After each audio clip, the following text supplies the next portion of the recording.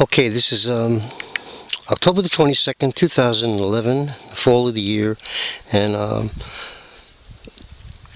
last year, two years ago, I had potatoes planted here. This past year, I had tomatoes and squash planted here, and now this year, I'm putting in uh, my garlic, and I plant my garlic in the fall.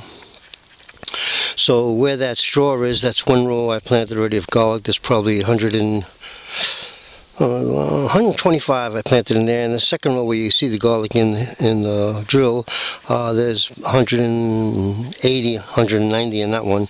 And then I'm going to hill that over and then put straw on top of that one. And hopefully it'll all come up again this year. Well it'll come up this year and it'll come up in the spring anyway. Uh, nice garlic. You all have a great day